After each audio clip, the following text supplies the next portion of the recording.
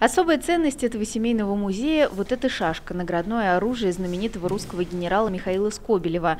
И его же коллекция оружия разного времени, от бунчуков с конскими хвостами – это был персидский символ власти, до восточных сабель и турецких пистолетов. Все эти вещи бережно сохранила сестра Скобелева Ольга Шереметьева. Неоднократно он посещал сестру, и близкие у них очень были отношения. И после его смерти а, Ольга Дмитриевна устроила вот такой даже мемориальный зал, Скобелевский зал, Отдельный зал на выставке, посвященный самой Ольге Дмитриевне. В молодости она была фрейлиной у супруги Александра II, а в годы русско-турецкой войны стала сестрой милосердия. Общество оценило это как первый шаг к эмансипации женщин. Ольга Шереметьева увлекалась музыкой и даже сама писала военные марши.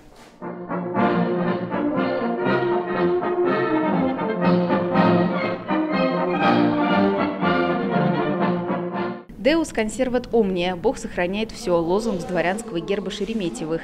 Несколько веков представители этого старинного рода жили на Нижегородской земле и собирали здесь антиквариат. Интерьеры на выставке точно воссозданы по фотографиям тех лет. На своих местах мебельный гарнитур, инкрустированный слоновой костью, французское зеркало, шкаф эпохи итальянского ренессанса, северский фарфор. Шереметьево, как люди, а, знающие толк, да, но это было частью да, дворянской культуры, дворянского воспитания в искусстве декоративно-прикладном, могли приобретать такие вещи, а, может быть, случайно, может быть, нет, в поисках подобных предметов на антикварных аукционах а, у иностранцев.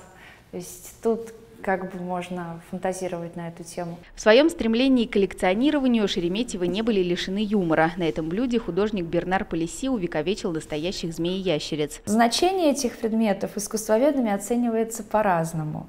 То есть помимо того, что это такое увлечение, да, характерное для эпохи Возрождения миром естественной природы, да, это такая шутка над гостями.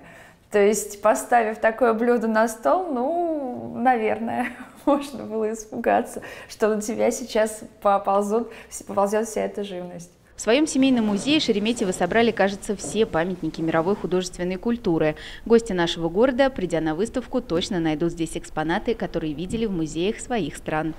Оксана Панагошина, Владимир Гайдай. Время новостей.